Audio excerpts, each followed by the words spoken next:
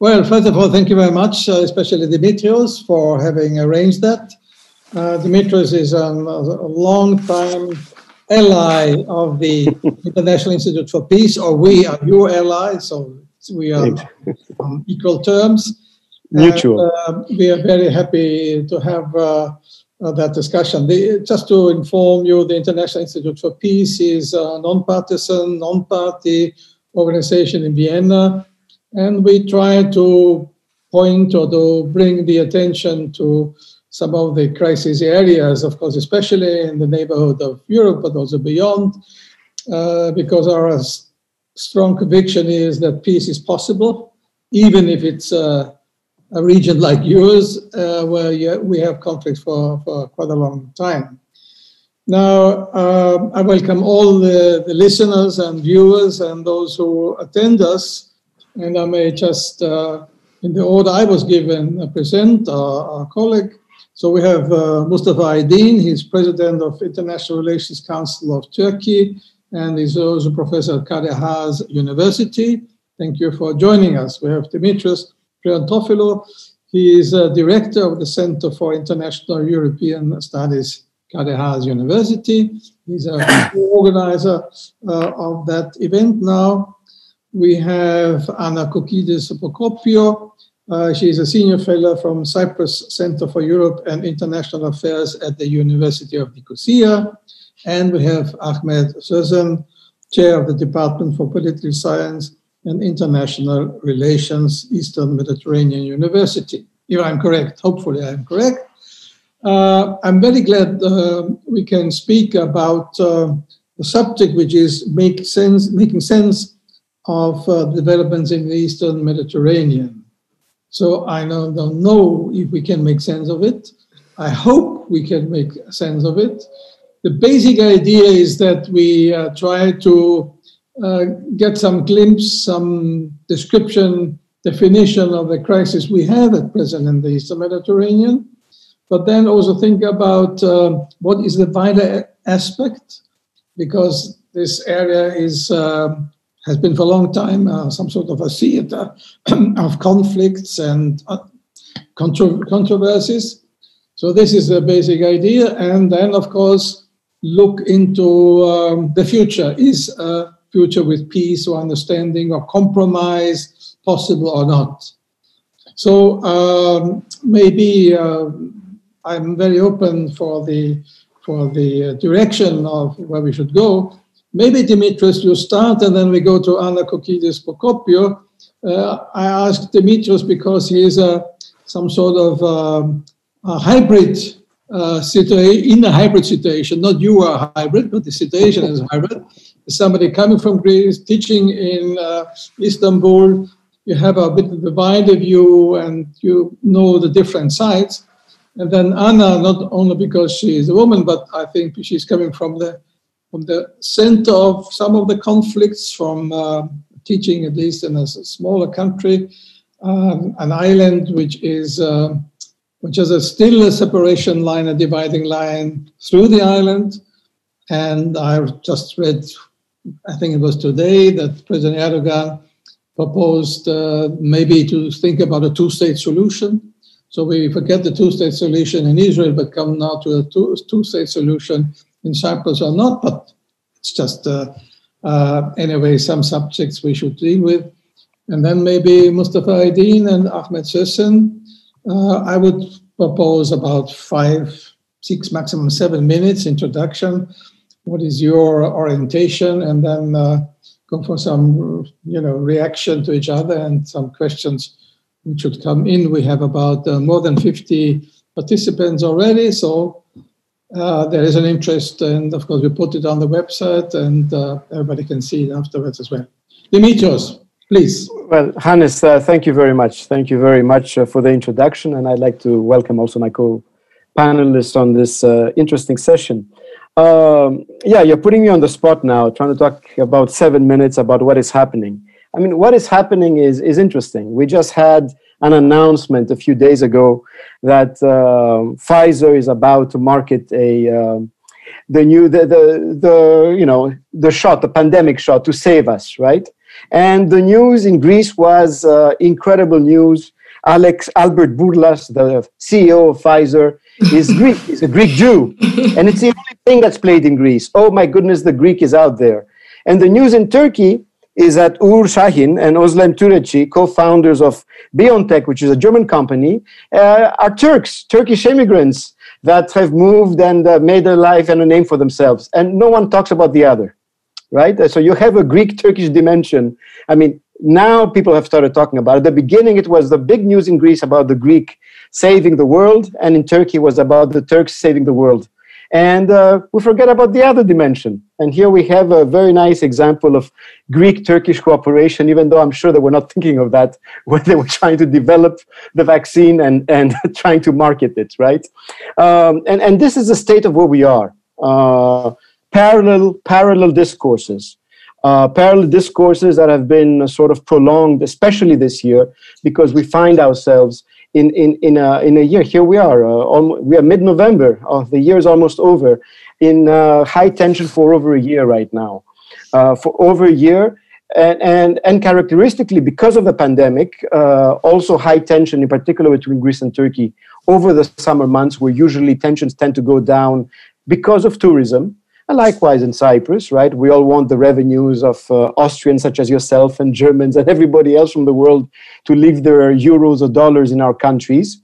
Uh, and so there's some sort of moratorium in place. But this year, because of the pandemic and lack of tourism, that moratorium is not uh, has not occurred. And so what we have is uh, high tensions, uh, the militarization of foreign policy to some extent, uh, increased threat perceptions, increased threat perceptions and lack of trust, which was all, were already there. We're already there between Greeks and Turks, and my Cypriot colleagues will talk about Cyprus in that sense as well.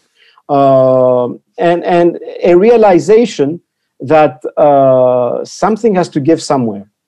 Uh, that these uh, parallel discourses, uh, which might be justified on all sides, I, I one should and assume that uh, policymakers, whether in Athens or in Ankara or in uh, Nicosia or Lefkosa, they know they're thinking rationally about their interests, even though each policymaker has a different status in the international arena, but they're thinking rationally about their interests and the interests of their communities, of their citizens, and so on. But nevertheless, even this rationalization has been leading to increased tensions at a time, at a time of uh, what I would call systemic change, uh, where you have the emergence of the multilateral order sort of disintegrating. We are living through it, and you have the rise of a multipolar world, uh, order where with competing poles, uh, where, whereby regional countries like Turkey uh, and others, uh, I know you had sent us a list of questions, uh, Israel or others, Egypt in, in our part of the world,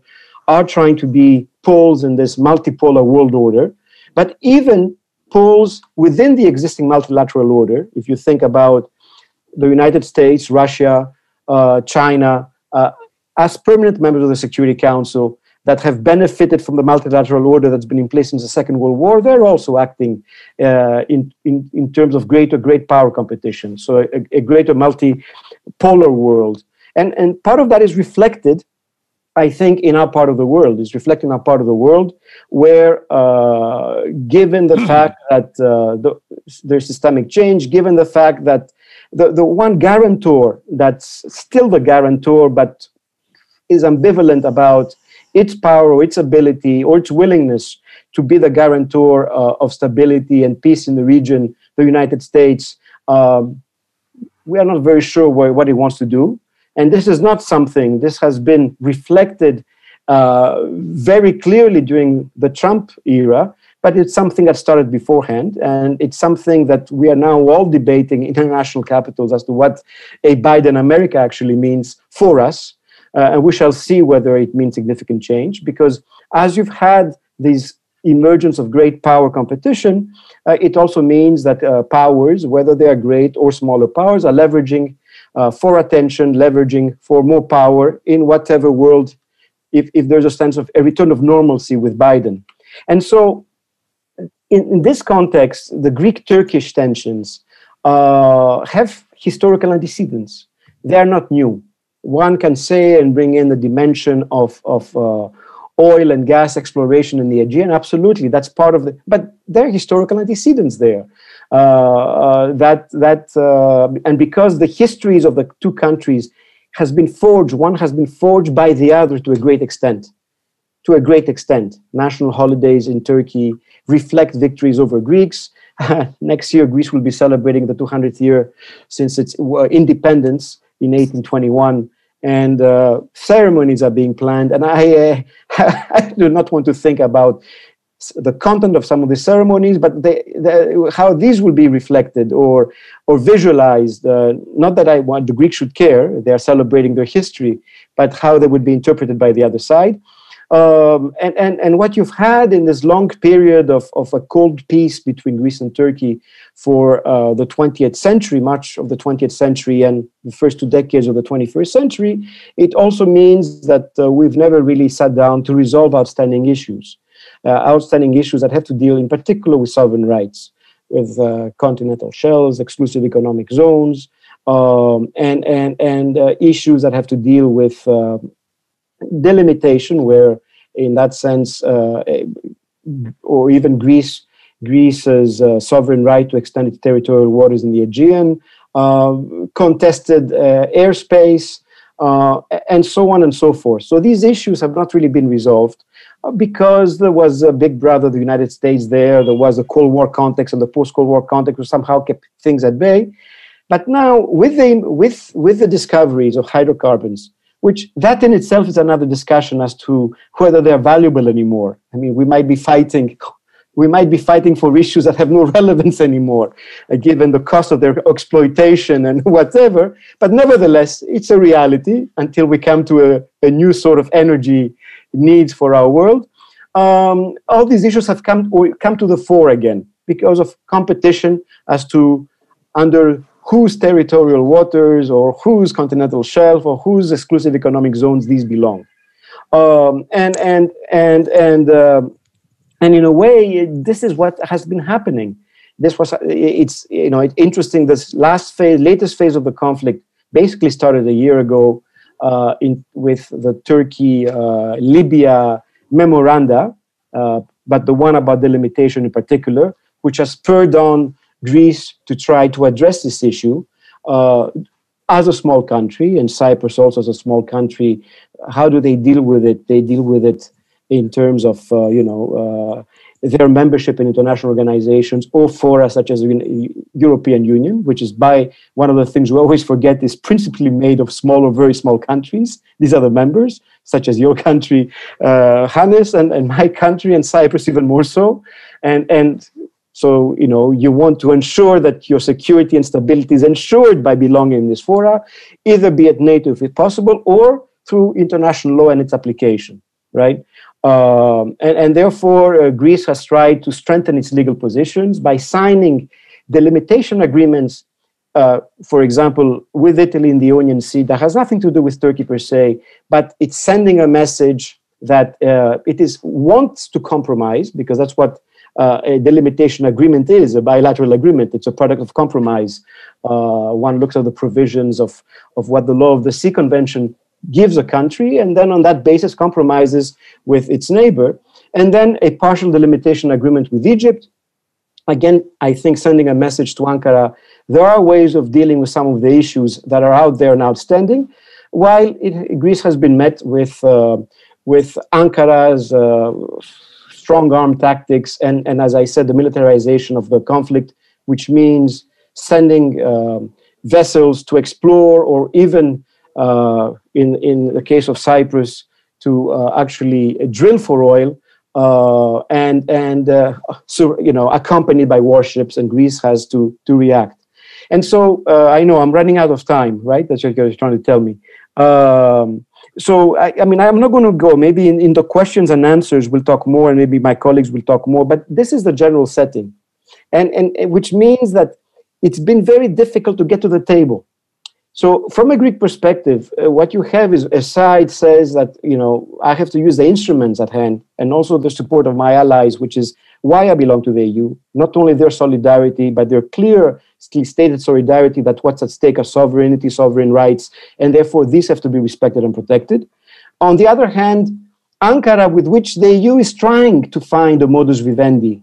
And, and I always say one should look a little bit at the Council conclusions of October, European Council conclusions of October, which is very clear as to what they use, how they use trying to deal with the situation, which is calling a respect, accepting the Greek and Cypriot positions, uh, uh, also saying that Greece and Turkey should sit down to, to begin the proximity talks to, to deal with uh, issues of continental shelf and exclusive economic zones, and also presenting a positive agenda because this is part of a wider relationship with, it, with Turkey. Uh, and, and that does, has not seemed to have worked, uh, even though we all know very well that uh, to get to these council conclusions, obviously Germany and other powers had spoken to Turkey, had gotten Turkey's support for th- this kind of conclusions, in that there would be, we would move on to another phase. But we have not been able to move on to another phase. A- and this has sort of, uh, you know, complicated tensions and the uncertainty, and the uncertainty which, you know, uh, has extended, has been extended, but also the uncertainty which is, is a very visual uncertainty, as shown by, by the visit yesterday of the Turkish president uh, in Cyprus uh, and, and his very, very public visit uh, in a particular place. And so uh, this is where we are uh, lack of trust, lack of dialogue. And I would posit also, interestingly enough, again, COVID has really, really, really destroyed us in the sense that it has had an impact on lack of lack of dialogue uh, between societies when you cannot travel to the other side. I mean, the interaction, the immediate, I mean, it's happened in Cyprus too, where the, crossings have closed because of COVID. Uh, but, but it's happened between Greece and Turkey as well. It's a one hour flight away. I cannot fly to my country. There's only one land border crossing. Uh, the, the, shipping, uh, you know, uh, joining Aegean uh, cities, uh, Turkish cities with Greek islands, that has all stopped, where you had day tourists and so on come in. And so even societies do not get to talk to each other, except maybe through the wonders of Zoom and, and other applications such as these, but it's not enough. And, and so uh, even COVID has also deterred us from advancing, and actually it means that citizens uh, are basically uh, get their opinions uh, or not from their direct interaction, but from what their governments want to, to put out there. So um, I'll, maybe I'll stop here. Yeah. Yeah. Thank you, Dimitrios. Thank you for this uh, overview and reminding us about uh, 200 years of independence of Greece. And in 23, we will celebrate, or some people anyway will certainly celebrate 100 years of uh, Atatürk's foundation of the new Turkey, uh, although the new Turkey of Ataturk is a bit different than what Ataturk uh, uh, wanted it to be.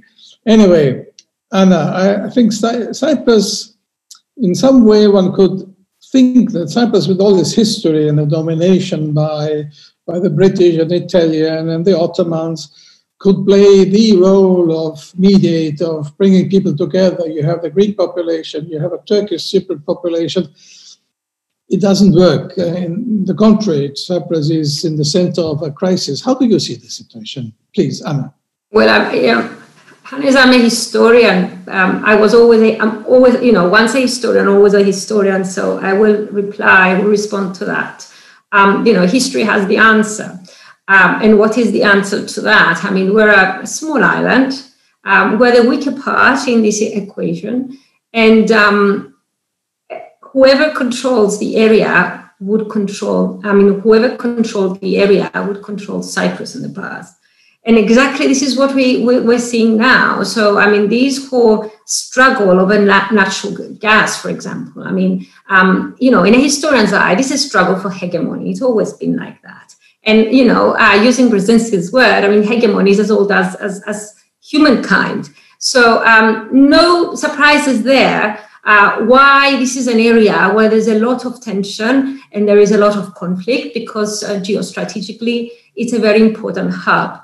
Um, and unfortunately, we happen to be, um, you know, at the crossroads of, uh, of, of, geography and history, um, where there's a lot of overlapping um, of tensions. Now, um, I'd like to take the opportunity, and I will just use um, something very, very important that Dimitris has, has just said And I think it's a very, very, it's an important conclusion. And we just said we have a declining of multilateralism, but at the same time, we have the rise of a multipolar world. So it's a it's a paradox in one sense. It's an oxymoron. While at the same time, um, you have a failing of collective action of institutions of countries working together. At the same time, you have the, the rise of a multipolar world.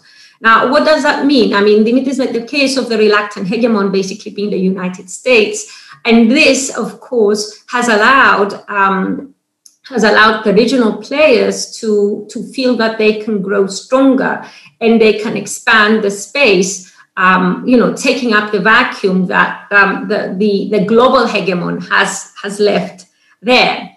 Um, so, and I think this is what we are seeing in the, in the case of, of Turkey. And what is quite worrying for us, um, you know, the view from Cyprus, of course, is the following.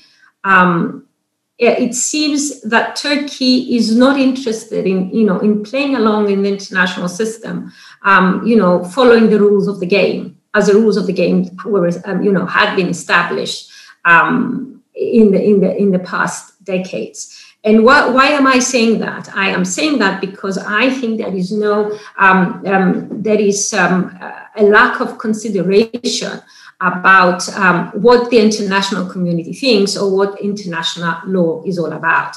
And this is an argument which I think was made very pertinently by um, my Turkish Cypriot compatriots in the last few days, especially because of Erdogan's visit to Cyprus um, and the way he approached the whole um, question of Famagusta. As we know, in uh, United Nations uh, Security Council Resolution 550, um, and then later on in 789, um, the status of, of Varosha, Famagusta, was established by the Security Council as a city which had to be returned to its lawful um, residents under the, the, mandate of the United Nations peacekeeping force. Uh, and and, and uh, following the first resolution, the second resolution said, you know, this would be a very good opening to a series of confidence building measures. So um, uh, Mr. Erdogan, you know, boasting about like a, you know, a, a, a neo-Ottoman sultan, um, you know, holding a picnic or planning to hold a picnic because it was raining cats and dogs yesterday and he couldn't do that. Um, you know, and just parading and showing off the properties, the stolen properties of people, you know, rubbing all in, old wounds um, was something which actually sent the message to anyone who was interested to hear this um, that Turkey is not really interested in, in, you know, in any kind of, you know, in the facade that international law would provide in this case. And this was an argument made not only by Greek Cypriots, not only by the government of the Republic of Cyprus, by the Turkish Cypriots themselves. And there were people there demonstrating Turkish Cypriots saying no uh, picnic over pain, over someone's pain. And I think this is how we all felt um, especially if we, if we bring into the picture that, the place where Mr. Erdogan and his um, and his entourage passed, we know there's a mass grave of 11 Greek Cypriots, including children, in that in that place, and you know this is where he was supposed to have his party. So, um, in terms of, uh, of of symbolism, the message we all got, it, there is no sensitivity and again, this was an argument used by the Turkish Cypriots who were out there demonstrating yesterday that there was no sensibility shown by Turkey uh, being the victor in, uh, in you know, in, in, in, 1974, because, you know, that's reality, um, rubbing on, on, on, on old wounds and making people feel humiliated uh, and, and very upset by this whole situation. Now, um, of course, uh, when you talk about delimiting um, maritime boundaries, let me just uh, remind everyone, uh, for the sake of the argument, that the, the, Cyprus government has invited Turkey to go to the International Court of Justice in The Hague um, and to discuss this and set the, the boundaries. And of course, Turkey um, did not respond to this. They didn't want to hear about it. We're not interested in this. So um, there was, you know, an, an informal proposition. Uh, let's settle this while we're negotiating for other things. And the big question that all the Greek Cypriots, you know, would, would, would ask is, is this: Why reinvent the wheel? If there is international law, if there are agreements um, that can actually settle this question of maritime boundaries, uh, in a court of law. Why don't we do that? Why do we have to keep that open um, and and uh, just you know um, having all these kinds of violations that the EU has condemned? Um, the United Nations Security Council has very recently again condemned the, the actions of Turkey, and we see that Turkey doesn't care. So the big problem here is that you have a free agent who is moving outside the realm of international law. So if you're the weak party, like Cyprus is the weak party, what can you do? Um, and, and um, of course, for us, it's not just a theoretical conundrum of how to come to an agreement. For us, it's a matter of physical survival. Because on top of everything else, we've had threats uh, by Ankara, by uh, Mr. Erdogan and his government to remember what they did to us in 1974. And, you know, if we're not good enough, they will do it again uh, uh, to us if we don't, you know, succumb to, to what they want which I think, in terms of, of you know, of, of wanting to be, of Turkey wanting to be a member of the international community, of Turkey wanting to be even, you know, being on the path of European accession, this is totally unacceptable. This is not how Europeans or wannabe Europeans behave in the 21st century. So for us, um, there's this again this this um, this big problem. Now, if we take it in, in, ter- in theoretical terms of conflict resolution, um, you know, going back to Galtung, um, the founder of conflict resolution theory, I mean, he talks about negative peace. And what is negative peace is when you drag a part uh, of the negotiation process, a member of the, of the, of the negotiation uh, um, process, you drag them to the negotiation table, you threaten them, you blackmail them, you make them sign a peace agreement. So, is this what we want in Cyprus? Um, because I'm afraid this is what we're getting, and this is what is getting us um, very um, skeptical about the intentions of Turkey. And on top of that, we had the threats of partition. Because when we say a two state solution, you know, in essence, this is partition. Because this is not what has been agreed under the United Nations mandate for the whole, you know, all these decades we've been negotiating. There's been uh, compromises being made on the negotiation table. And now Turkey says, oh, I feel very strong now. I can do whatever I like. Nobody is, you know, I don't have any consequences for my behavior, neither by the EU or the United States. So this is a time that I will uh, dictate to the other side that we want partition, we want two states.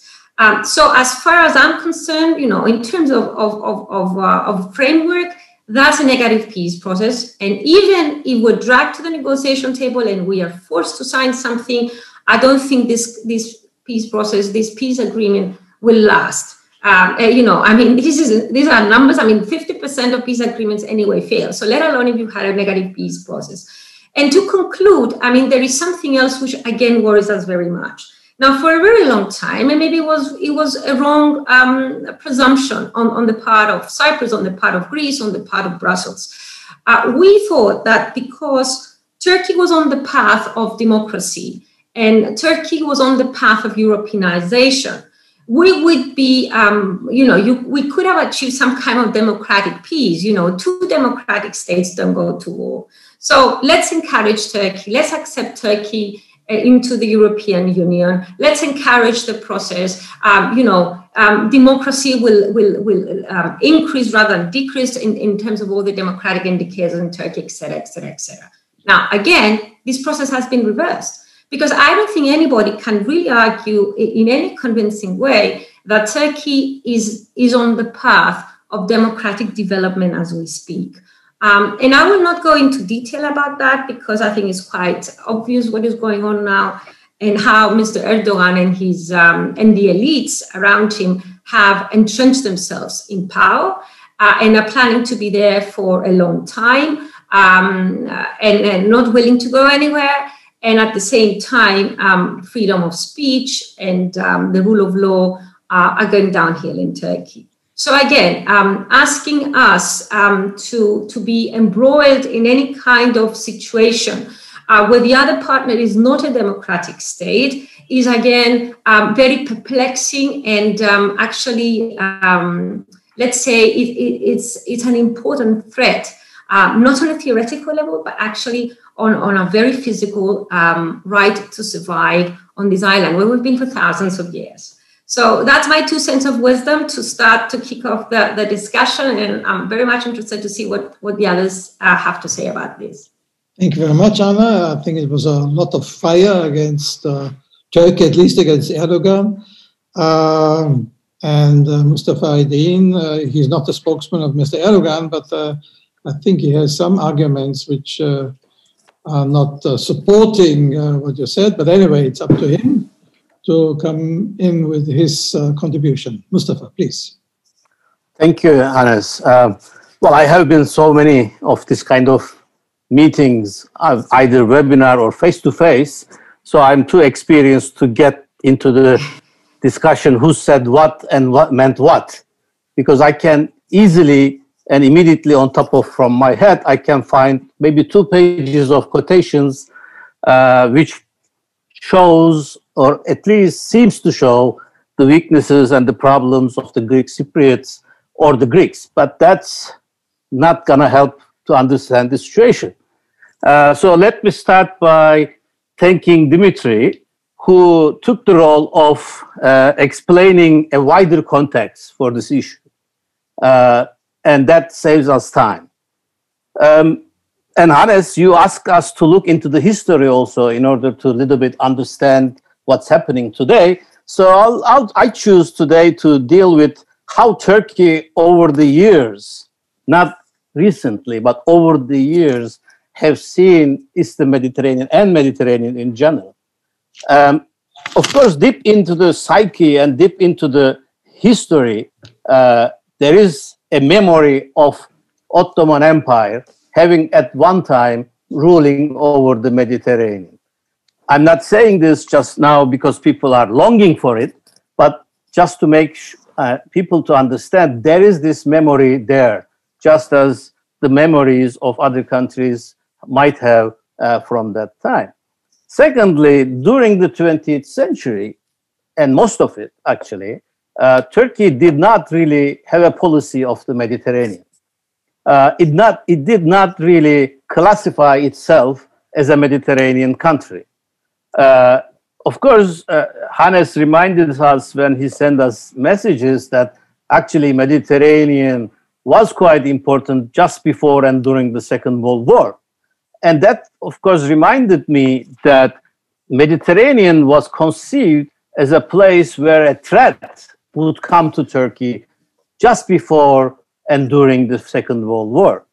Uh, it was the perceived Italian threat that pushed Turkey uh, towards um, the alliance with, uh, uh with England and France rather than the German uh, perceived German threat. And it was again perceived Italian threat in the Mediterranean uh, from actually late um, 1920s, where unidentified submarines started sinking uh, shipping in the Eastern Mediterranean and very close to Turkish uh, shores, that kept Turkey out of the war, at least in the first year of the Second World War.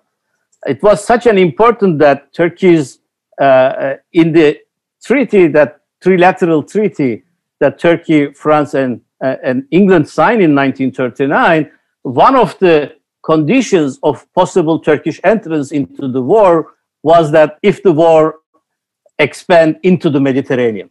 So all other cases were disqualified unless the war expanded into the Mediterranean. Turkey would not be, never be uh, part of the uh, Second World War. Anyway, eventually Turkey found other clauses not to enter the war, uh, but that was the first instinct during most of the uh, 20th century, during the Cold War, in fact, Turkey and I think Greece also tried very hard to keep the Aegean Sea separate from the Mediterranean Sea.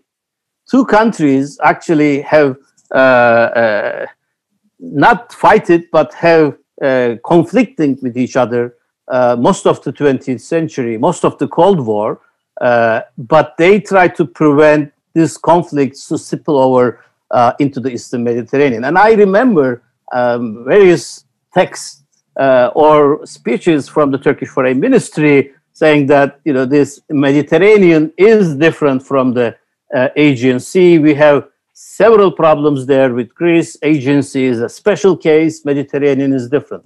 And for Turkey, and I would argue that for most of the NATO countries, during the Cold War, Eastern Mediterranean meant Cyprus. Uh, I have several books, just my, uh, you know, uh, in my back here about Cyprus. Uh, you can see here already Cyprus uh, in Turkish, but there are others. But I have a couple of books looking into the Eastern Mediterranean security situation during the Cold War, written by non-Turks and non-Greeks, and they were talking about Cyprus, importance of Cyprus for the security of NATO. So for the NATO countries and including Turkey, I think uh, during most of the Cold War, when we talk about Mediterranean, we really talked about uh, Cyprus issue and nothing else. Um, after the end of the Cold War, Mediterranean has started to increasingly become an important issue for Turkey, and especially uh, since the early 2000s. And there are three, I think, three issues or three dimensions of this that brought Mediterranean more into the Turkish discussion. And interestingly, some sort of a Mediterranean identity, at, at least in foreign policy, is being uh, forged now. Uh, now there are articles, you can see various articles or even books being written about Turkey's Mediterranean policy, whereas you would not find any such article uh, written before uh, 1990s. Uh, one of the first issue of why Mediterranean has become important uh, for Turkey, has become a, a, a, has risen in the agenda is the I think it's increasing geopolitical importance of the Eastern Mediterranean, especially since the Arab uprising. But even before that, but since Arab uprisings, there is very clear, uh, very understandable and seeable uh, rise in the uh, importance of geopolitical importance of Eastern Mediterranean. Uh, many countries started to pay attention. Those countries who were not really interested and who did, who did not show much interest in the Eastern Mediterranean uh, during the Cold War, they became much more interested in the Eastern Mediterranean and Cyprus as a whole. And Cyprus, in this sense, has been seen, it seems to be seen, as a gateway to a larger geography uh, around the Eastern Mediterranean. It's not only Cyprus, it's not only Turkey. Now, uh, if you put Cyprus into the middle of the compass and you would have an access to, to various regions. And we have seen this here, uh, number of countries bringing their militaries into the region. During the Cold War, the, the balance between United States and Soviet Union and balance between Greece and Turkey uh, kept the region in check. But this kind of balances, as Dimitri has already highlighted, has been missing in the region in recent years also, which contributed to this changing geopolitical uh, situation in the region. Uh, now, several countries, um, not only regional countries, but United States, Russia now, for the first time in the history, France, and obviously UK because of its bases, Israel much more now than in history, Egypt, uh, Turkey and Greece, they all, and of course, the Cyprus uh, have military forces in this region, very in a close proximity to each other, which elevates the importance of region for Turkey. The second issue, why it becomes so important now, is of course potential of energy, and nobody should deny that and can deny that. Uh, and energy means uh, its importance for economic and wider political reasons uh, for Turkey. And one has to remind, remember what happened in late 1970s uh, in the Northern Aegean Sea. Uh, Dimitri would know this, of course, we have talked this number of times. In the late 1970s, after the Cyprus uh, operation of Turkey, uh, Greece and Turkey locked in uh, counter arguments and tensions in the northern Aegean because of the possibility possibility of the energy resources at the time it was oil under the sea and it continued despite the arguments and discussion that various people argued that there was not enough energy resources to fight over in the Northern Aegean Sea. But it went on until it was really proven there was no energy resources worth fighting in the Northern Aegean. So two countries already have this experience, and they only ended this crisis with a moratorium in the Aegean Sea because they found out that it was not enough energy resources in the region. So this is and the same is could be said in the Eastern Mediterranean, and for the Eastern Mediterranean, uh, it is not a new problem. People are talking as if this problem emerged a year ago when Turkey started to challenging the developments in the region. In fact, Turkey has been challenging the developments in the region since the late 1990s. Uh, I found out a document when I was looking all this that I was one of the first organizers in Turkey bringing to academia, decision makers, and think tankers together in 1997 to discuss how to respond to the changing energy environment in the Eastern Mediterranean and how to respond to the Cypriot government, Greek Cypriot government in Turkey, of course, uh, to its moves in the region. So already in late 1990s, this was an issue in Turkey, and Turkish Foreign Ministry have judicially uh, every time there was a move from the uh, Greek Cypriot government, they also uh, declared protestation. They sent protestation to the United Nations, to the European Union when it mattered, and to the international community when the European Union didn't matter. So there was always uh, protestations, but it was political and it was diplomatic protests. And nobody really listened to that until, well, a couple of years back, Turkey started to sending ships, navy to the area. And until a year ago, when Turkey decided to take it even further with, uh, with its ships and not only navy ships, but also drilling ships. Uh, so it's not a new problem in the region from the energy aspect. Finally, the third issue why it became so elevated in Turkey is the strategic importance of this Mediterranean uh, to Turkey. This is different than geopolitical changes and balances in the region. Turkey looks is the Mediterranean in connection with the Aegean Sea. Uh, not everybody um, admit, not everybody connects this linkage, obviously, but when you dig enough, there is a connection in Turkish, especially military mind, between Aegean Sea and the Eastern Mediterranean.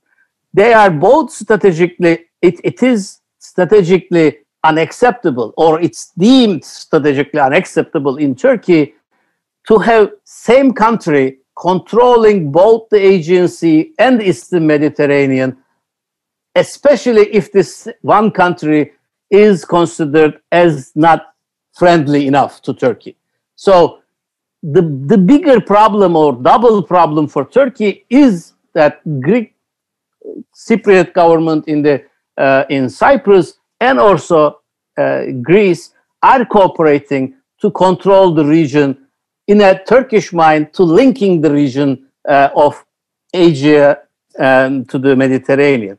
This creates a kind of a, blockage from the Turkish perspective where Turkey could not really go into the international waters uh, unimpeded. Of course, in peacetime, everybody would do everything, but you have to think the worst case scenarios when you are thinking international relations and for the future of the countries. So, from the Turkish perspective, the worst case scenario is a possibility of conflict and war uh, with Greece, and in that case, would not Turkey would not like to see control of Eastern Mediterranean by Greece or by the Greek allies of Greece.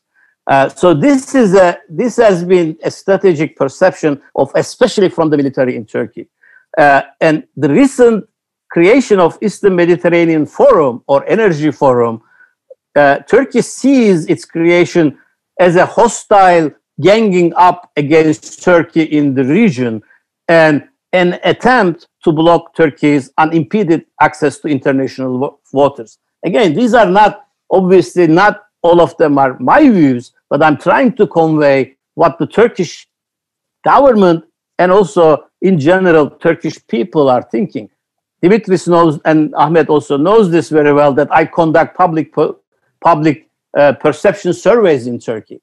And one of the, I think, biggest mistakes is being done, especially in the West, is that everything they assume everything is being done on the whims of the president in Turkey and or small group of decision makers in Turkey. But when you do public surveys in Turkey, you would see that there is a wide majority, uh, widespread majority on this kind of issues, and Eastern Mediterranean is uh, one of them.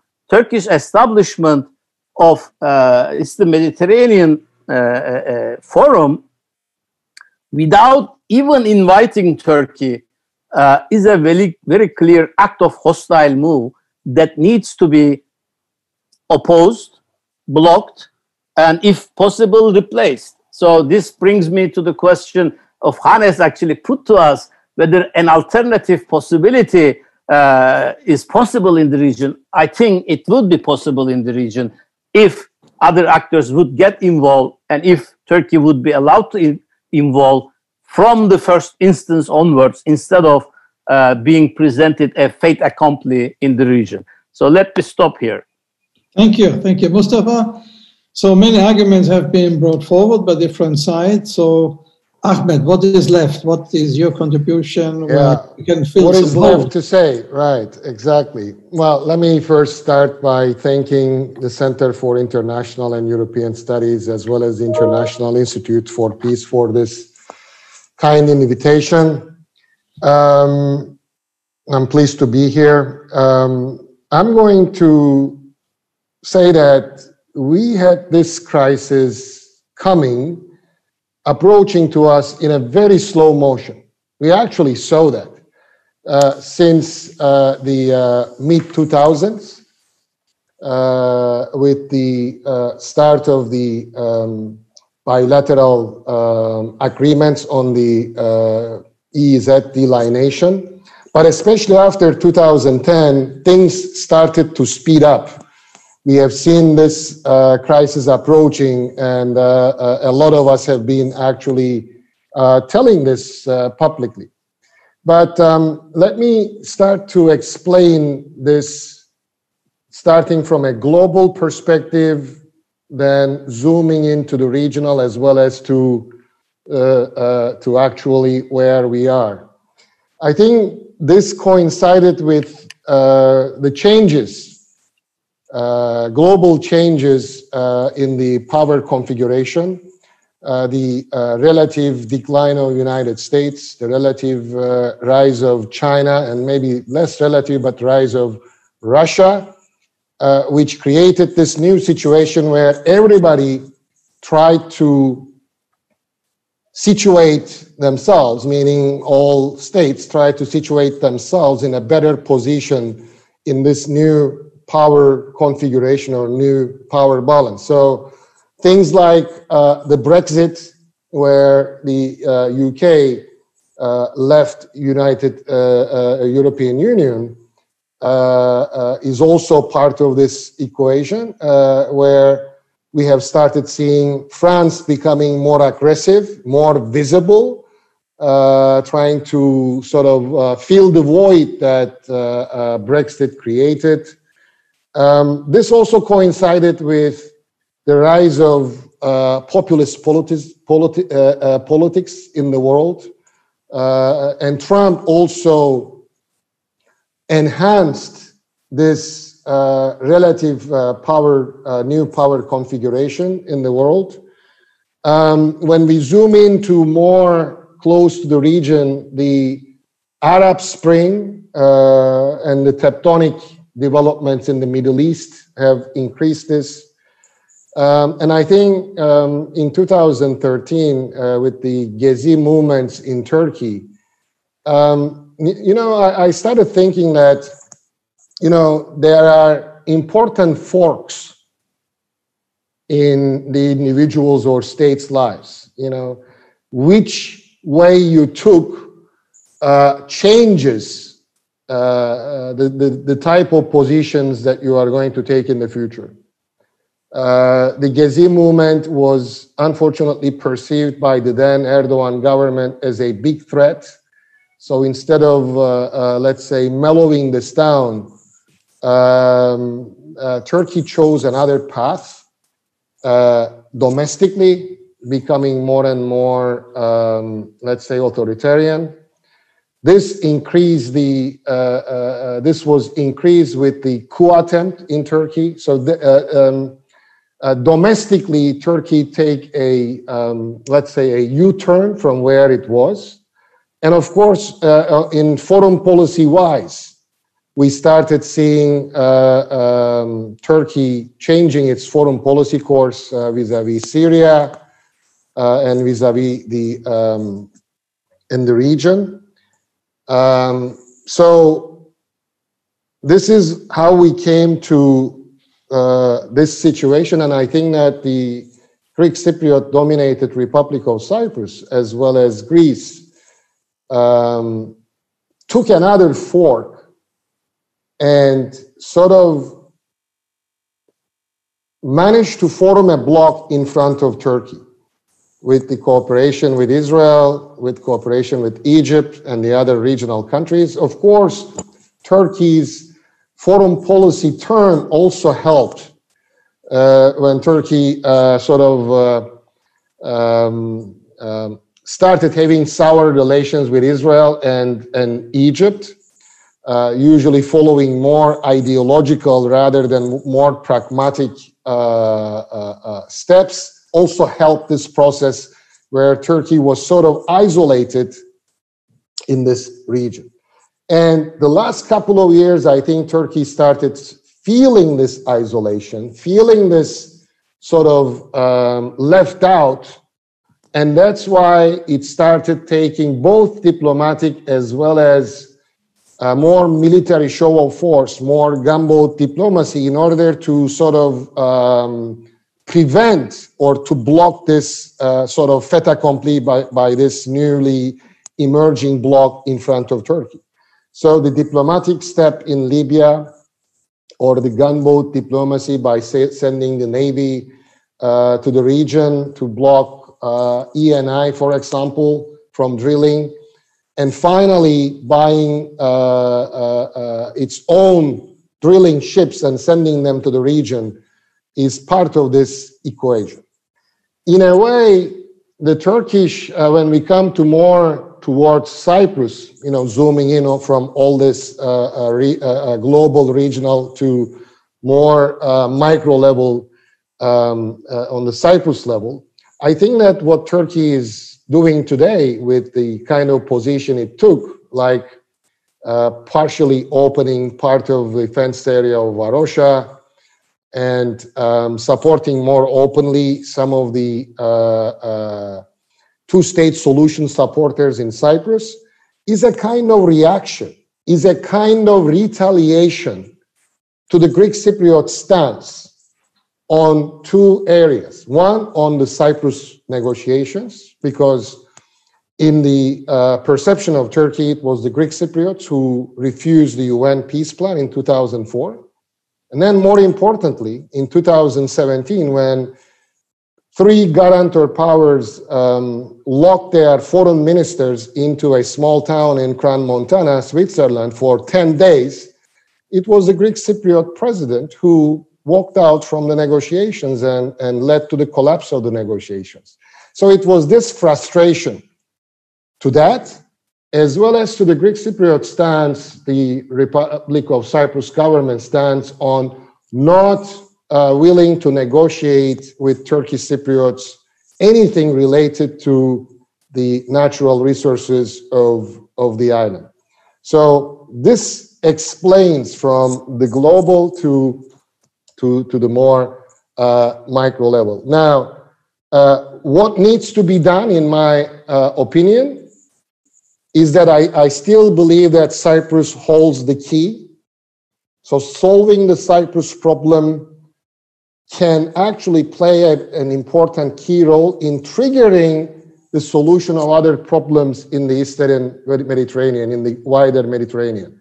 So what is uh, more practically needs to be done is we need a Crans-Montana style international conference that would bring the two Cypriot sides as well as the three guarantor powers together again Last time in Crans-Montana, we had two negotiation tables. Table one was on the um, internal aspects of the Cyprus problem, and table two was on the future security architecture of uh, Cyprus, United Cyprus, which included the three guarantor powers. I think that those two tables are necessary, but I think that there should be a third negotiation table, maybe on an informal level, that would bring the two sides in Cyprus as well as the three guarantor powers, especially Greece and Turkey, to the table to, to talk about the future delineation of maritime borders between United Cyprus and Turkey, and hopefully some sort of common understanding uh, uh, between Turkey and Greece for a potential delineation in the in the Aegean. I think that if maybe that's a very tall order, I'm, I'm very aware of that, but I think that if we manage to do that, this can, in fact, trigger the solution of other outstanding uh, problems in the Eastern Mediterranean. So the way to go is to engage people, to engage the countries, not to isolate. Now, if Turkey needs to be uh, shown the stick, and that's usually the case in every negotiation, you use the carrot as well as the stick. You don't do it in public, especially to the Erdogan's government. Because if it is done publicly, uh, he will retaliate uh, five, with five times more magnitude. So everything needs to be done behind closed doors, both stick as well as genuine carrot, so that Turkey can um, can do the uh, compromises as well as also gain something that can sell to the Turkish people as some sort of uh, both political as well as economic uh, uh, uh, gain. So I'll stop here, and if there are any questions, I'll be very happy to answer. Thank you. Thank you very much for all of you. And I want to remind our uh, visitors and listeners and viewers that they can put questions, they can put forward them to you. I will take up two issues, uh, just mentioned also by Ahmet, and ask you to come in, all of you. The first is, of course, on the Cyprus issue. I mean, I must confess I'm, not, I'm biased uh, because I have for many, many years when in the European Parliament talked to my friends in the Greek Cypriot side and also the Turkish Cypriot side about how Germany, for example, overcome so many conflicts and, and went the, the way of, of unification. I must openly say I have not the feeling that the Greek Cypriot side was interested in having a compromise, which is a real compromise. It would have been difficult, the Annan plan, to realize and implement, I must confess. And when I spoke to the presidents of Cyprus, I could agree with some of their arguments. But the fact is, the Greek Cypriot side rejected it, and the Turkish Cypriot side accepted it. And the second issue is, of course, on the energy. How can you say the energy we get out of the sea, the gas, is benefiting the Greek side, but not the Turkish part of Cyprus? I think that must lead to a reaction. That's that's logic. So this is my question. Maybe I'm wrong, but uh, this is my logic, and I, I, and if you say again and again, yes, in principle, we want to go join, you know, to have a unified Cyprus, but de facto we block it. At the end, it leads to a two state solution if you want or not. Not now, not in five years, but finally it will, unless you have the courage and the energy to do what Ahmet just said. This is my personal opinion. Maybe I'm wrong, and please react. Uh, I, I would, uh, of course, uh, confess when I'm totally wrong. And the second issue is what I don't understand on Turkey's side. If Turkey, and I agree with what Mustafa said, and also it was mentioned by Ahmet, when Turkey really has an interest to be have a strong role, why doesn't it overcome its issues with Israel and with Egypt? Of course, I even agree with some points and some criticism of, of Erdogan on the Israeli government, Netanyahu's government's uh, dealing with the Palestinian issue. But he has no influence. He has less influence on, on, on, on Netanyahu and the Israeli government now. And of course, you can have, I'm friend of the you know, of, of the former president in, in Egypt, and Sisi is um, at least authoritarian. But authoritarian people can understand each other, you know? so it's not so so uh, uh, opposite uh, situation. So I don't understand why Erdogan is not a bit pragmatic and trying to have an alliance with these countries if he wants really to have an influence in the area. Because the alternative is, as we saw, that Cyprus, Israel, Egypt go together. And we know that uh, the United States is at least strongly on Israel's side. Russia is partly on Israel's side, but not always on Turkey's side, as we saw recently. So maybe these two questions, but you can, uh, of course, take up everything else. So um, maybe Anna, you we ask you first to, to react and to come in, and then uh, Dimitrios, and then you know everybody's is up to. And again, if people uh, see some questions already coming, I will come in with these questions afterwards. Please, Anna. Yes, um, let me just address first the question, um, the, the paradigm you use, the German paradigm, because I think it's it's it's the wrong historical paradigm. Now, in what sense? Now, in, in Germany, you had a divided country which was kept divided by um, by the great power struggles. And when exactly did Germany get uh, united? It got united when Soviet when the Soviet Union uh, collapsed. So basically, the the um, the aggressor, let's say on, on one side, or let's say that the big power pole on one side just didn't exist anymore. And secondly, which again is very important, you had the same people. You had people speaking German, um, having a common history, having a common political uh, path um, since um, the unification of Germany in 1870. So it wasn't really that difficult to get those people to live together. So um, let me just recap then what's going on in Cyprus. Now, in Cyprus, um, as the United Nations Security Council resolutions recognize, uh, the northern part of it is occupied. Now, if it's occupied, as the resolutions say, and you have a cessationist state, which is the product of occupation, occupation means an occupying army. Now, if the occupying army doesn't go away, then there is no feelings of security for the Greek Cypriots.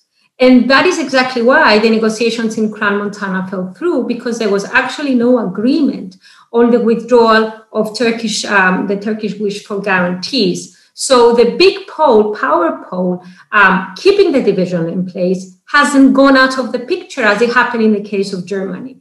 And let me to build on this very, very briefly. I've heard in many cases um, talks of the Franco-German cooperation and how the European Union started through the coal and steel and so on and so forth. Again, my my my my my point would be the following: Germany, who was the aggressor, was disarmed, was harmless, had no option. They had to cooperate with the French, and of course, they had the American shepherd and the money of the Marshall Plan to fuel this whole situation to keep going and to create an engrenage process. So, if we're going back to history, the analogies of Germany and the analogies of the Franco-German cooperation cannot apply in the, in the, in the case of Germany, of Cyprus, because you have a totally different historical setting in place. And that's why we insist that we cannot survive on the island unified if we have Turkish guarantees in the 21st century and if we have Turkish army being present. Both in the case of the Franco-German um, uh, cooperation and in the unification of Germany, the, the armies were gone. So um, now, on the case of natural gas, let me just remind you that there was a convergence during the negotiations um, of uh, the natural gas resources being handled by the federal government, the Talat uh, Christofias convergence, plus very recently, President Anastasiadis exactly to uh, settle this issue of, of uncertainty on behalf of the of the Turkish Cypriots. He did propose to Mustafa Akinci that an escrow account is created, and when there we have you know profits from natural gas if this is ever, you know, ever materializes, they will go into an escrow account in accordance with convergence. So there will be no concern of anyone exploiting the other side. Um, you know, um, so this question could have been settled, but again, um, the Turkish Cypriots said they were not interested in this proposition. So, I mean, it's quite easy to say, oh, the Greek Cypriots did not accept the Annan Plan in 2004, uh, or the Greek Cypriots did not um, um, uh, accept what was going on in, in Crans-Montana. But I think it's quite um, Uh, it, it doesn't help the situation if there is no effort to understand the reasons behind the insecurities that the presence of the Turkish army generates among the Greek Cypriots. Um, and if we keep, we are being reminded all the time of what happened to us in 1974, and we haven't forgotten what happened to us in 1994, um, the presence of the Turkish army in Cyprus cannot in any way allow, um, a, you know, um, a, the, the, the reunification of the island to take place. Thank you. We'll come with another question uh, from the colleagues, but may Dimitrios and Mustafa. Dimitrios? Yeah. Um, well, I mean, all I can say is listening to this debate, taking part in it, and always think about Greek Turkish relations and what happens in Cyprus.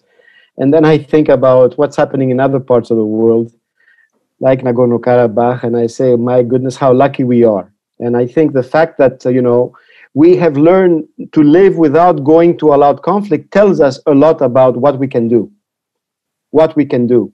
And I think potentially, I mean, Ahmet laid out a, a plan for Cyprus, but I think in general, potentially, the, the solutions are all there. They can be resolved. I mean, I'm even thinking about, you know, the whole issue about the East Med Gas Forum. And, and I, I was, as I was, I, I, was listening to you, I found the Greek Prime Minister statements uh, on October 21st, which was the last trilateral meeting between uh, Mitsotakis, Al Sisi, and Anastasiadis in Cyprus. That, and, and at some stage in his remarks, he goes, you know, we must not forget, he says, the statute of the East Med Gas Forum signed, was signed a month ago, which includes Greece, Cyprus, Egypt, Israel, uh, Italy, Jordan, and Palestine cooperating on energy issues. I will say it again Turkey can participate in this partnership too. It can also participate in our trilateral partnerships. It has never been excluded in principle by anyone, yet its actions bring about its margin, marginalization. And again, we, we tend to look at the negatives because out of those remarks, what was highlighted, for example, in the Greek press, in the Turkish press as well, was Mitsotakis warning Turkey not to overdo it, while in the state statement, you also have the potential of something out there. And I think this is the things we're not looking at. Just like how do you, you know, uh, Ahmet said very, I think correctly in a way, but maybe, you know, how he says the key lies in resolving the Cyprus issue. Uh, or maybe it's a simultaneous approach because it's about building trust. It's about building trust. And, and we have a modicum of trust because we are not worried. We should be, maybe, but we are not. We, we've shown resilience into you know, either Cyprus or Greece and Turkey becoming another Nagorno Karabakh, where the track is totally lacking. And, and, and I, I think uh, we need to have this realization that um, the windows of opportunities are closing, be it in Cyprus, even though Cyprus is interesting because, you know, there's a counter argument. Right now, there's a lot of talk about a two state solution, but an argument is that, well, maybe it's not a valid two-state solution is just there as a negotiating ploy because it would mean that if this were to occur turkey turkey loses basically all its leverage within the eu as well. I mean which would have had more leverage with finding a solution for a united cyprus whether it's a federation or confederation or whatever right?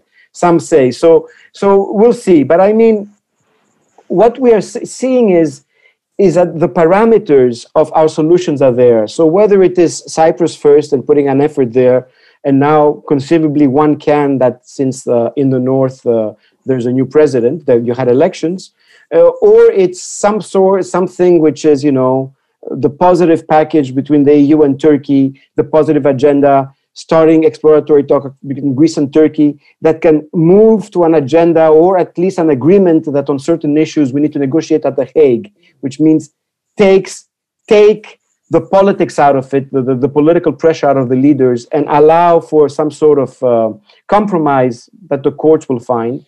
And simultaneously, this can resolve uh, issues on a number of fronts because it's not just Cyprus or, or what Greece and Turkey could take to The Hague it's also the issue of the extension of territorial waters, which, as I said, it's Greece's sovereign right in the Aegean. But under what conditions will it do it so that it does not raise tensions? Uh, it's also a question of how we educate our publics. Uh, the fact that the Greek prime minister, and I keep saying this, says all the time now, it's been a Greek position, but this, he says every time that, oh, we go to The Hague, is in itself a willingness to compromise is in itself a willingness to compromise, or that there are a number of analysts such as myself, and when, when we get on Greek media or we write, we say that Greece has the right to extend its territorial waters up to 12 nautical miles. Just by saying up to, we are trying to educate the public. It's not 12 nautical miles, which is what everybody thinks. It's up to 12, and there are ways around it. And I think so. We, we, we can have the parameters of doing this, uh, but somehow uh, we are caught in our own discourses or uh, you know the tit for tat game. Well, if your ships withdraw first, uh, then I withdraw my ships. Then we sit down to negotiate, and and and and there is what Ahmet and I totally agree with Ahmet.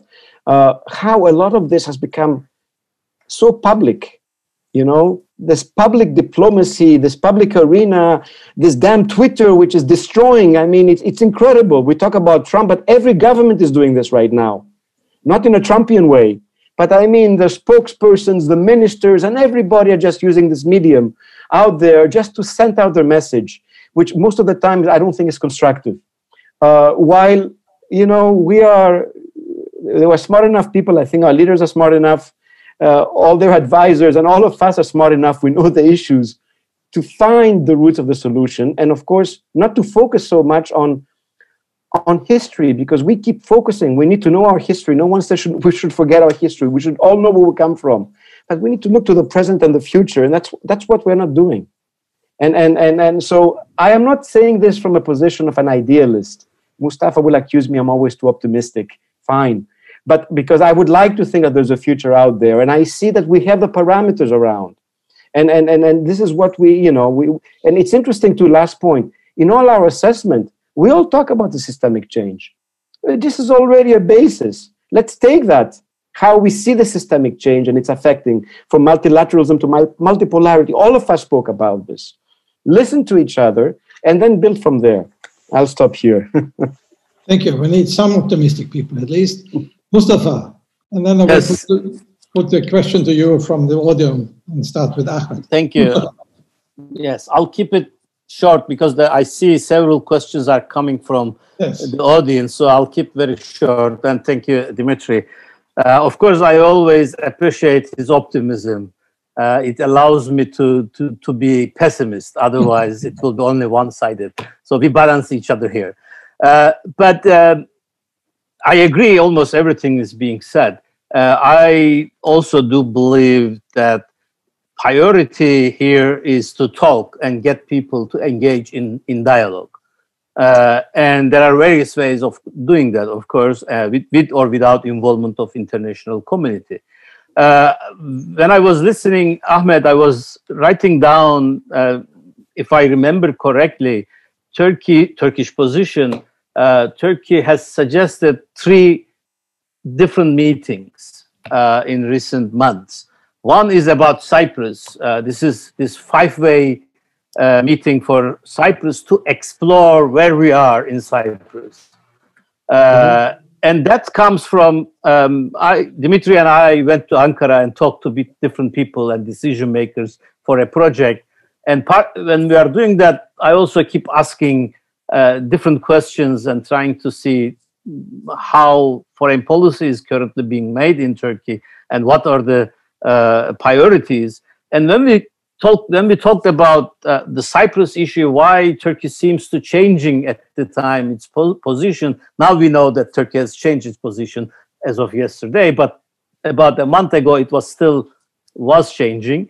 Uh, and one of the explanation that keep coming uh, from different people was, and at least that how I understand, there was a very deep and deepening distrust and frustration uh, with the Greek Cypriot position uh, over the years. As Ahmet mentioned, um, Annan and Crans-Montana, these two have left quite a it seems have left quite an impression, especially because the same people in Turkey involved in both cases.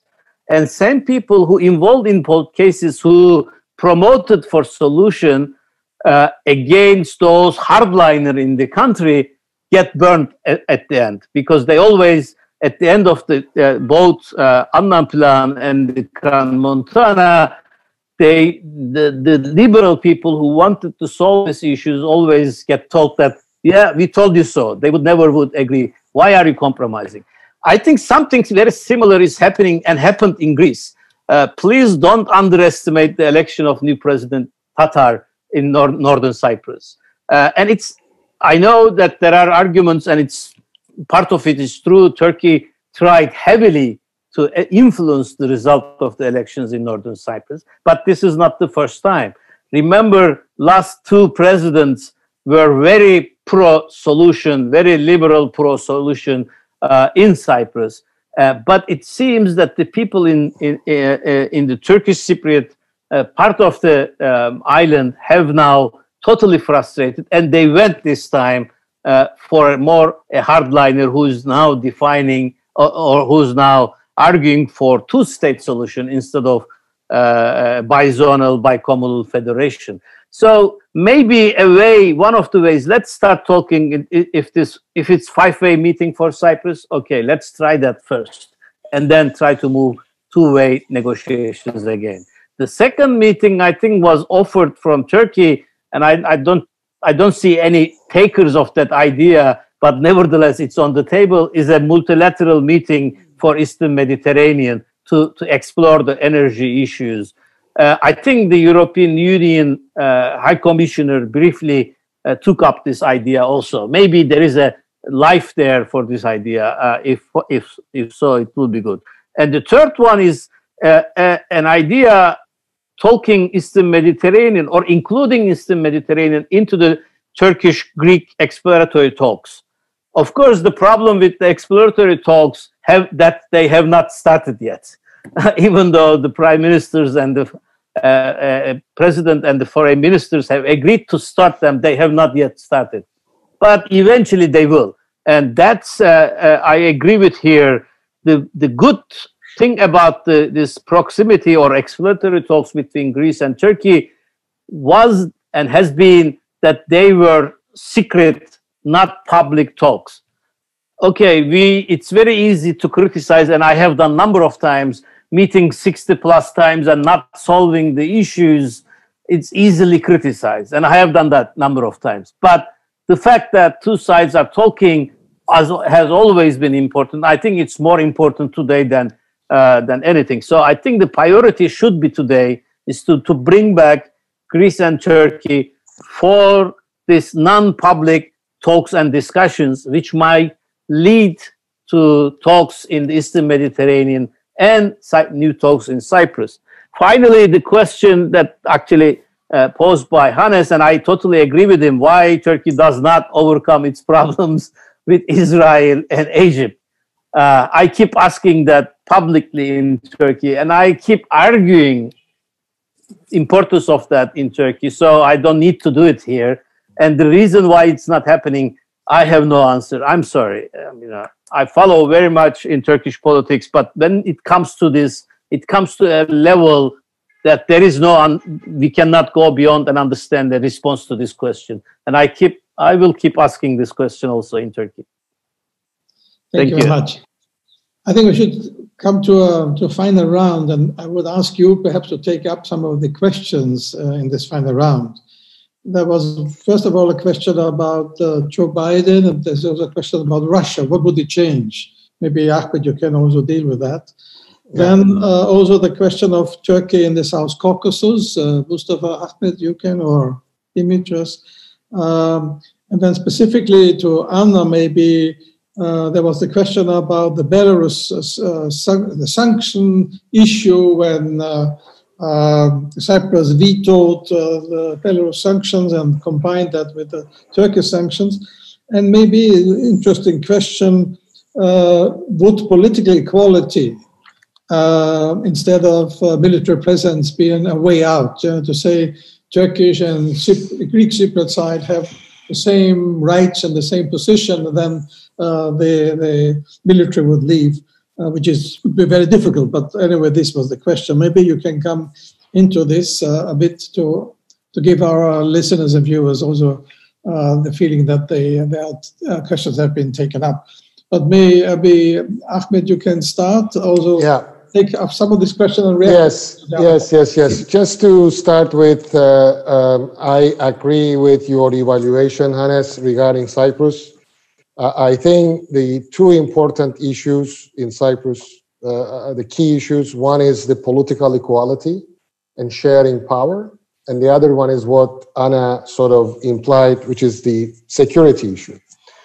Um, the U- UN Secretary General Kofi Annan very openly said after the uh, uh, referendum in 2004 that the real problem is whether you know the two sides, especially Greek Cypriot side, is ready to share power uh, with Turkish Cypriots, or whether um, the Turkish Cypriots were seen as a kind of partner or as a minority. Because as you know, the Cyprus problem didn't start in 74. I mean, the UN peacekeeping force has been in Cyprus since 1964, and the Turkish Cypriot uh, partner of the republic has been absent from that supposedly bi-communal uh, partnership republic.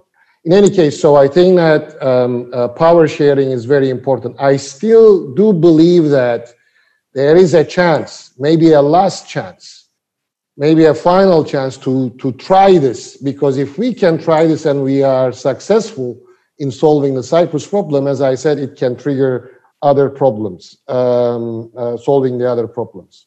Now, something that Mustafa mentioned, if you look at the last 20 years of the uh, elections in Cyprus, uh, the uh, uh presidential elections in the northern Cyprus, start with 2000, it was Mr. Denktash, 2005 Talat, 2010 Mr. Eroğlu, 2015 Mr. Akıncı, and 2020 Tatar. Right, left, right, left, right. So to me, that's the pendulum swinging from one side to the other. I remember when Mr. Eroğlu was uh, uh, uh, elected after Talat, I said that this was a message by the Greeks, uh, by the Turkish Cypriots to both Greek Cypriots as well as the international community, including EU and uh, the UN. And it is this: Look, guys, we give you five years. This pro-solution guy, you work with him. You don't like him? Try this one and then come back five years later, we'll give you another pro solution. If you are not ready, then I think that there is some this kind of uh, pendulum swinging from one to the other side. But anyway, but food for thought. Now, Biden. As I said before we start this discussion today, um, starting the last couple of weeks, I say that uh, I started having at least a glimmer of hope uh, in this uh, uh, interesting times that the whole world is uh, passing through. One is the uh, election of Biden after Trump, and the other one is maybe the um, possibility of a good resulted vaccines. Now, joke aside, I think that Biden will need to repair some of the damage, both domestically as well as internationally, that Trump administration has done on institutions, uh, both domestically, as I said, and internationally. Biden will turn his face to the other side of the transatlantic and will try to patch up the relations with the European allies. So maybe it is too early, but I, I believe that Biden administration will be more visible together with the European allies in this region, both in Eastern Mediterranean as well as in, in the Middle East. Remember during Imia Kardak crisis, we had uh, United States sort of uh, uh, doing the fire uh, fight. It was Richard Holbrooke who came to prevent uh, the two countries from the brink of a war what happened a couple of months ago when Turkey and Greece uh, had a tension in the Eastern Mediterranean? Where was United States?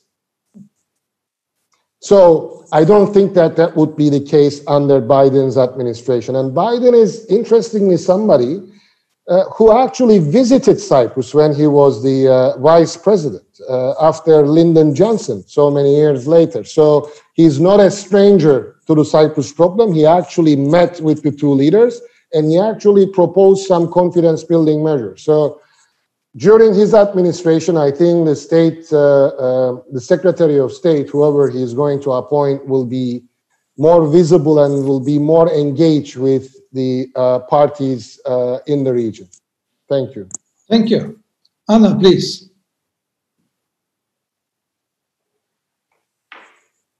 Um, just to uh, pick up on, on what Ahmet just mentioned on the involvement of the Americans, I mean, um, Jeffrey Pyatt, for example, the uh, American ambassador in Athens, um, was bragging, and I was there when he did it at the Economist conference in Greece like two months ago, that his boss, uh, Mike Pompeo, had scored a diplomatic victory when the Oruç Reis went back in, um, you know, in, in, in Turkish harbor, and, and, and, you know, tensions calmed down. At the same time, um, the, the German press was saying exactly the same, that it was a diplomatic victory for Angela Merkel.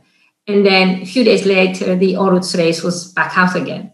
Um, so I'm not so sure if it's the absence of diplomacy which is causing this um, mayhem in the area. I think it's the absence of, um, of incentives uh, on the part of Turkey to comply, let's say, with what its allies are asking it to do or um, are suggesting. So, um, and just, you know, because we've talked about public diplomacy and, and, and, and secret diplomacy, um, I mean, I'm quite puzzled why we've been saying that there hasn't been any secret diplomacy because only like a couple of months ago, Mr. Çavuşoğlu came out and said, oh, we've been having secret talks with the Greek government in Berlin.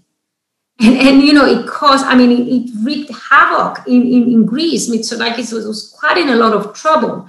So, you know, talking about demolishing trust between two sides, um, why, when you're talking, you know, secretly, and this is what governments do. I mean, we all know that, and this is, you know, how serious diplomacy is conducted is behind closed doors. And I do agree with everybody who was mentioned before. You know, this public confrontation doesn't really help anyone. So um, I think we really need to call a spade a spade when we're analyzing things, so we can be more realistic as to what to expect. And now, you know, trying to close now on a positive note, uh, because I, I, don't want Dimitris to be the only optimist on this panel. Um, I think it's it's very important to, to emphasize um, two points already been made by the other panelists. First of all, the Eastern Mediterranean Gas Forum is really um, an opportunity for regional cooperation. And I think it's very important to, to, to stress that um, Prime Minister Mitsotakis and President Anastasiadis and the foreign ministers repeatedly have invited Turkey and other members, uh, let's other partners in the area to join forces with them in the Eastern Mediterranean Gas Forum. I think that's very important. Now, secondly, um, the other important proposition, of course, let's go to the International Court of Justice in The Hague.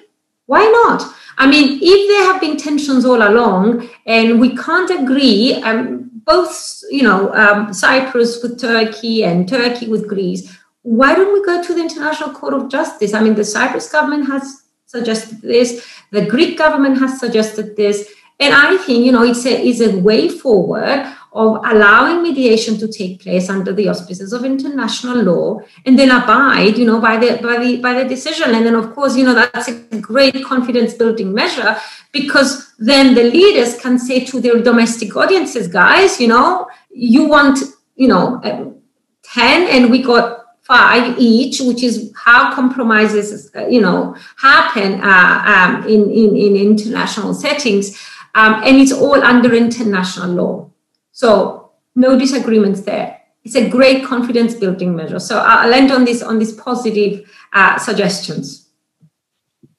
Okay, uh, Mustafa. Uh, my question was out of the region, uh, moving to the South Caucasus. But in fact, uh, of course, I can even argue to link South Caucasus to the Mediterranean uh, easily, but I'm not going to do it because it will conf- even more confused region. Um, so looking to the South Caucasus, um, well, after so many years, uh, some sort of a, a, militarily enforced solution is coming to the Caucasus. Uh, whether it's going to be durable or not, uh, it will depend on various developments and especially what will happen within Armenia and how political situation within Armenia will uh, pan out. It will determine uh, whether the current um, stage will continue. And let us not forget what was agreed was also a ceasefire agreement. So it's not a peace yet. So it's a ceasefire agreement, and actually it's a phased ceasefire agreement. And first deadline is already missed. Uh, there was a deadline by the, I think 15th uh, for Armenia to evacuate some part of the territories that it was occupying uh, beyond Nagorno-Karabakh, and it failed. And Russia asked Azerbaijan to allow another 10 days. Um, so we are already in the problematic aspect of the ceasefire agreement. Um, Turkey is not, of course, in the announced agreement ceasefire deal. Uh, Turkish forces are not mentioned to be part of a ceasefire, uh, a peacekeeping operation, and, and they are not not to be. Uh, however, it seems that there is some sort of an agreement uh, not fully announced uh, between Turkey and Azerbaijan and between Turkey and Russia uh, that some sort of a Turkish forces will be based in Azerbaijani territory to monitor whatever they are going to monitor. But they are not going to be in the Nagorno-Karabakh territory. Um, there is, a, of course, a, a very hotly disputed discussion, hot, um, heated discussion internationally about who gained what in the recent uh, flare-up of the issue in the in the Caucasus, uh, and uh, it seems that everybody agrees that Russia has been one of the biggest beneficiaries, apart from Azerbaijan, of course, regaining its territories. Uh, Russia has uh, managed a very difficult, very unmanageable situation very uh, easily and successfully and has finally obtained permission of Azerbaijan to send Russian peacekeeping forces into the Azerbaijani territories, which it was trying to do since 1994 uh, and have failed so many times. So now uh, uh, Russia has an influence, heightened influence in Azerbaijan uh, and have heightened influence in the Caucasus. Um, Azerbaijan, having um, uh, liberated its territories, of course, is another real and big winner here. Turkey, by that kind of a count, counting of the beans, seems not to be that much bigger winner. However, I would uh, add here that Turkey has been um, kind of absent uh, from the Caucasian uh, forefront for some years. Uh, of course, Turkish, Azerbaijani, and Georgian relations have been developing uh, quite successfully, and this trilateral cooperation are there. But apart from that, Turkey has been uh, kind of a, put Caucasus into the back burner because of the press, pressing issues in the uh, in the Middle East, in the in the South. And now, with this uh, moves, in its recent moves, and with this recent agreement, it seems that Turkey, we are going to see more Turkey in the Caucasus, maybe the, maybe uh, involving more of the Caucasian issues, and maybe involving more of the solutions uh, uh of for some time for some long-term issues. One aspect that I should mention, not uh, gets uh, attention very much, the reason why Turkey uh, closed its border with Armenia in 1994, 1993, uh, was the occupation of Kelbajar region of Azerbaijan, which, is, which was very far away from the front line of the time. And now the Kelbajar is the first region that Azerbaijan, uh, Armenia is supposed to evacuate.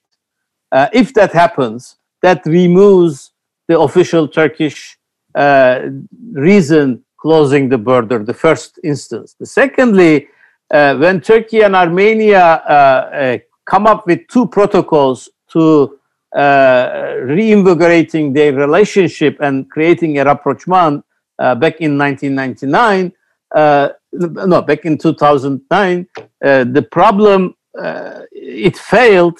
and when it failed, Erdogan, who was prime minister at the time, said that Turkey would not normalize its relations with Armenia until the, uh, the occupation of Karabakh ends.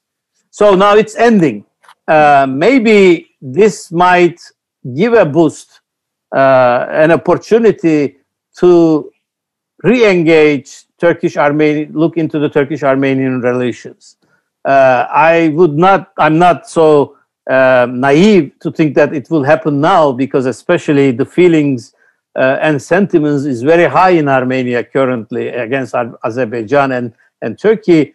But maybe after a couple of years, now we might have a real chance of looking, going back to that, that, kind of a discussion. Thank you. And maybe, Mustafa, if uh, the, the Greek Cypriot government asked Turkey to take the troops from Cyprus and then Azerbaijan, you can even solve the, the Cyprus issue. Well, I mean, um, let me mention, since you provoked me here, uh, let me remind everybody it was in the Annan plan, there was an evacuation program for Turkish military from the island. Thank you. Well, I think some some hundred should have stayed there. Was the yeah, hundred is nothing. Yeah. but anyway, if you see how close, 30, you know. how close the Turkish border is, the military could come anytime. So exactly. exactly. Another issue. Dimitrios, uh, we have to round up. Uh, we need an optimist to round up and to show us into uh, the good future. Well, I'm, I'm not sure whether what I'm going to say is optimistic right now. Uh, Anna did her part. No, two things very quickly, even just looking at the questions. The one by Maria Zaharaki and the Biden factor. I, I think that uh, other than, you know, more institutional relationships and relations coming up between the US and all countries of the world, one has to consider one thing. And I think what's coming out of the Biden campaign and its people, and I think it's going to come out of the Biden administration, is for the US and the West not to lose Turkey. And if it's about keeping Turkey in the West, I think this is something both Athens and Nicosia have to consider in the calculations. What does it mean? If this is the priority, how do we work with this? Because it, it doesn't have to be negative necessarily, but we have to consider this factor. And I think many of, uh, of Biden's uh, persons uh, that have had experience in the past, and many of his people, and would probably get administrative administration positions, uh, will try to do this, at least at first, to try to keep Turkey within the West. So we have to consider that. The second thing I want to, I mean, this is one of the questions in part of it by Stephanie Fenkart, which had to do with, you know, the whole sanctions thing, Cyprus and Belarus. I mean, it's easy to accuse uh, Cyprus, which is a very small country in the EU, of compartment, I, I say compartmentalization of its foreign policy. Cyprus's possibilities as to look at an immediate neighborhood, right? First of all, it sees that its own territory, its own sovereignty is divided, and there's a issue there in terms of governance and final solution. And it also sees that uh, you know it sees a big Turkey, and it sees its partners in uh, in, in the Middle East, and then it sees um, Greece. And so this is its focus. Many of the countries of Central and Eastern Europe that are accusing Cyprus of this are doing exactly the same. they're doing exactly the same of just focusing on the Belarus issue or the Russia threat. Eh? So whether it's the Baltics or the Czech Republic or the Slovak Republic. So this is a reality that the EU itself, the big guys within the EU, better step up. The Germany and the France and the others, and try to work to have towards having a more cohesive EU foreign policy. Otherwise, these things will keep emerging. So accusing one side of trying to block the other which is exactly the reverse argument that the other side is trying to do anyway, is not really helping the EU to step up as an actor that has the wherewithal, the tools, the ideology, the philosophy, an actor that won the Nobel Peace Prize for this in 2012, to do its share as a security guarantor with the instruments it has at its disposal. And, and so this is something we need to consider because otherwise it ends up being a blame game, and it should not be that. But the reality is, the EU is made up of small and very small states. And the problem with the small and very small states is that many times in their analysis, they cannot see the wider picture because they have to deal with the reality of the immediate threat that's out there.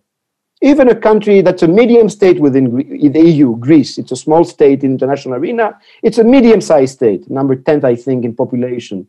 And, and an old member state that should it's, it's caught up by this without trying to do a more a larger systemic analysis of what's happening. Because here we talked about Turkey in the in the Eastern Mediterranean. We just talked about because there were questions, and Mustafa tried to explain what's happening in Nagorno Karabakh. We could have someone there could have been a question about Turkey in Syria and Iraq and so on. We have to understand that larger context and how it affects us, as opposed to the argument which is it's very real, that Turkey is seen as a threat because it's it's finding itself in on the territories of other states violating the sovereignty and therefore the perception and it's using its power its muscle absolutely but you have we have to put that in a larger context to try to come up with uh, with solutions uh, uh, that that somehow uh, bring about a security community uh, and before I give the floor to you, Hannes, I'd like to thank you again for uh, you know this partnership. And I, it's the first time we actually work together on this, and we should think of doing this more often. Uh, I was also gratified. At some stage, we had over 100 people, whether it was both on Zoom and Facebook, watching simultaneously. And um, thank you very much. Floor is yours, Hannes, and, and to all the speakers. Mitchell, thank you, everybody. Anna, Mustafa, Mustafa Ahmet because I think that was a very interesting discussion. Of course, we didn't solve the issues, uh, but at least we got from Ahmet and all the others, so some hints, some signs where the issue could go to. I think it is, uh, as Ahmet said, um, more or less uh, the last chance to come to a solution. But with all the problems and all the interest of the different partners, it is, uh, I would say, it's mature to come to a solution because you can solve the energy issue and the Cyprus issue and the big role for Turkey in the region, but a role which is uh, compatible with a peace structure all at once. But uh, you know, you need statesmen who think uh, wider than just uh, for their own nation, as Timothy said. Anyway, I don't want to start the restart the discussion. Maybe uh, Hannes, let me just say something. Maybe you need stateswomen Huh? States Not only statesmen. Even more, even more, even more. But it's uh, so even in countries in Europe, it's uh, in European Union, it's very rare. And I look forward to the next, uh, to the first stateswoman in in Ankara, which is uh, not easy to see. But anyway, why not? We well, have we, ha- we had the first one, but with the prime minister, you have a prime minister. If she was so successful, is another issue we can doubt about. uh, anyway, yes, it's women, it's men, whatever. We need uh, people who look more into the future and not to the immediate uh, uh, future. Okay, thank you very much. Thank you for joining. Thank you too. Thank you. Thank you all the participants. As uh, was said, there were quite a lot. So you see, it's a, it's a big issue and it's a big interest here. Thank you and have a nice evening. Bye bye. Bye bye. Thank you. Bye. Thank all you the best. Bye bye.